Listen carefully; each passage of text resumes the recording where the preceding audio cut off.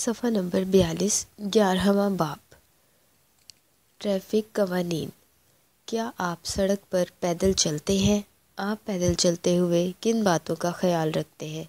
आइए चंद अहम ट्रैफ़िक कवानीन के मुतालिक जानते हैं। पैदल चलना। अगर फुटपाथ मौजूद है तो उस पर चलें। पैदल चलते हुए सड़क के दाएँ जानिब चलें ताकि आप सामने से आने वाली ट्रैफ़िक को देख सकें। सड़क पार करना। सड़क पार करते वक्त जेब्रा क्रॉसिंग का इस्तेमाल करें। अगर जेब्रा क्रॉसिंग मौजूद ना हो तो पहले सीधे हाथ और फिर उल्टे हाथ की तरफ़ देखें कि कोई गाड़ी तो नहीं आ रही। अब एक मर्तबा फिर सीधे हाथ की जानब देख लें। अगर सड़क खाली है तो उसे पार कर लें। सफ़ा नंबर तैंतालीस। सफ़र करते वक्त पैदल सफ़र करते हुए या किसी भी सवारी पर जाते वक्त सड़क पर मौजूद ट्रैफ़िक के निशानात पर नज़र रखें। ये हमें बताते हैं कि सुर्ख बत्ती पर रुकना पीली बत्ती पर चलने के लिए तैयार होना और सब्ज़ बत्ती पर चलना है। जाएँ, रुके। ट्रैफ़िक के कवानीन पर अमल करना हमें और हमारे इर्द गिर्द के लोगों को मुश्किलात से बचाता है।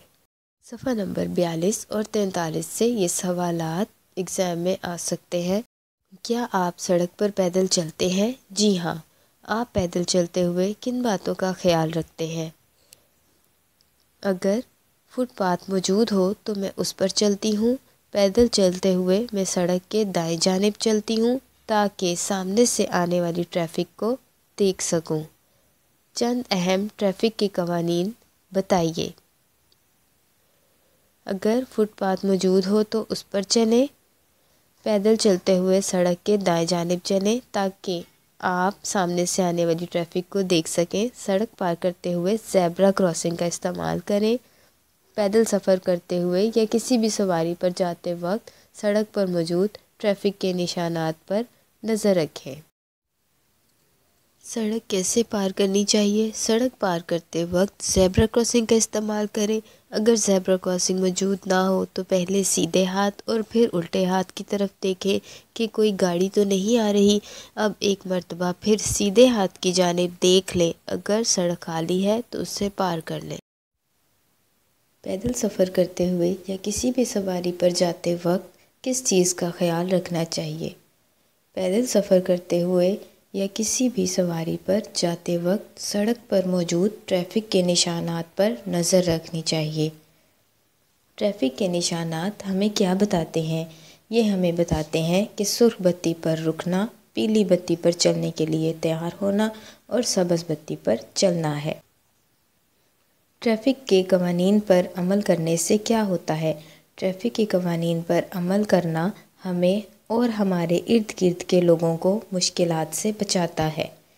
अगर हम ट्रैफ़िक की कवानीन पर अमल ना करें तो हमें किस किस्म की मुश्किल का सामना करना पड़ सकता है? अगर हम ट्रैफ़िक के कवानीन पर अमल ना करें तो हम हादसा का शिकार हो सकते हैं। सफ़ा नंबर चवालीस, हेलमेट और हिफाजती बेल्ट। मोटरसाइकिल पर सफ़र करते वक्त हेलमेट का इस्तेमाल हमारी हिफाजत के लिए बहुत ज़रूरी है। इसी तरह गाड़ी चलाने वाले और इसमें सफ़र करने वाले अफराद का हिफाजती बेल्ट इस्तेमाल करना भी हमारी हिफाजत करता है। Traffic signals.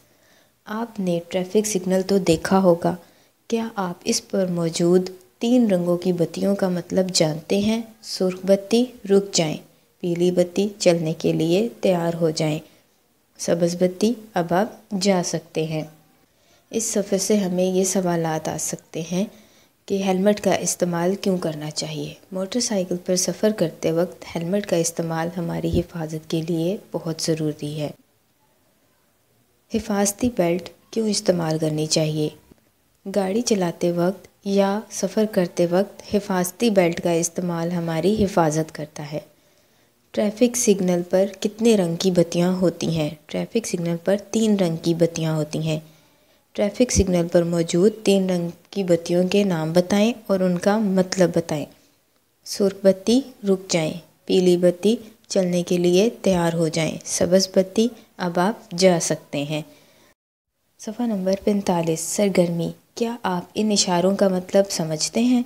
अब यहाँ सबसे पहले जो इशारा है वो ग्रीन लाइट है यानी सब्ज़ लाइट है। इसका मतलब होता है कि अब आप जा सकते हैं। तो इसको अब आप जा सकते हैं से मैच कर देंगे। कॉलम में ऑप्शन नंबर पाँच है। सेकंड पिक्चर में रेड लाइट है। रेड लाइट का मतलब होता है रुक जाना। तो आपने इसको रुक जाइए से मैच कर देना है, जो ऑप्शन नंबर चार है। उसके बाद नो पार्किंग का साइन है। पी पे जब क्रॉस लगाओ तो इसका मतलब है नो पार्किंग यानी यहाँ आपने गाड़ी खड़ी नहीं करनी।